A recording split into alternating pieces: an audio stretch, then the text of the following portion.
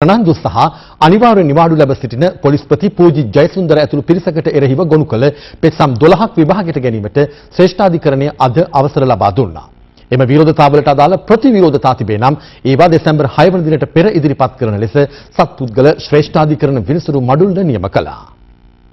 පාස්කුවරදා සිදු වූ ත්‍රස්ත ප්‍රහාර මාලාව වළක්වා ගැනීමට කටයුතු නොකිරීම සම්බන්ධයෙන් එවක සිටි ආරක්ෂක අමාත්‍යාංශ ලේකම් හේමසිරි ප්‍රනාන්දු සහ පොලිස්පති පූජි ජයසුන්දර මහතා චෝදනා ලබා සිටියා. එම චෝදනාවලට අනුව ආරක්ෂක ලේකම්වරයා සහ පොලිස්පතිවරයා අත්අඩංගුවට පත් වූ අතර පසුව අපමත මුදා හැරියා.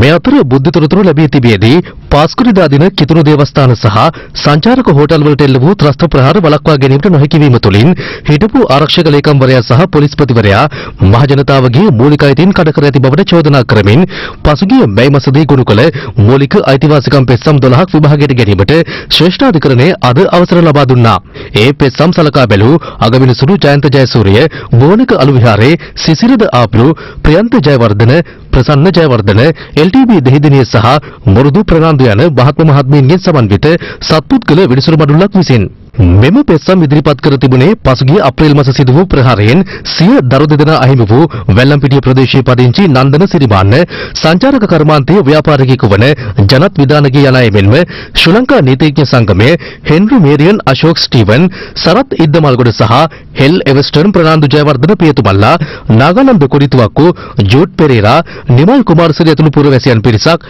පූජ්‍ය අගුලගල්ලේ ජිනානන්ද හිමි සහ කොළඹ ශැංග්‍රීලා හෝටලයේ සිදු වූ පිපිරීම් වලින් තුවාල ලැබූ නීතිඥවරයෙකු වන මුදිත ඒකනායක විසින්